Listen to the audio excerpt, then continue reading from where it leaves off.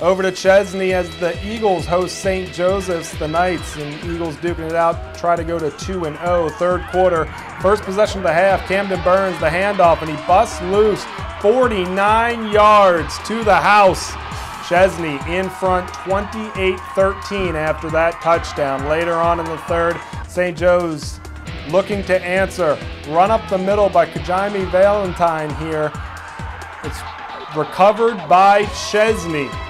So Eagles making a big play on defense as well. Later in the third, Adam Parks getting the handoff, and he busted up the middle from 32 yards out. The Eagles soar to the win, 45-19 over a tough St. Joe's team.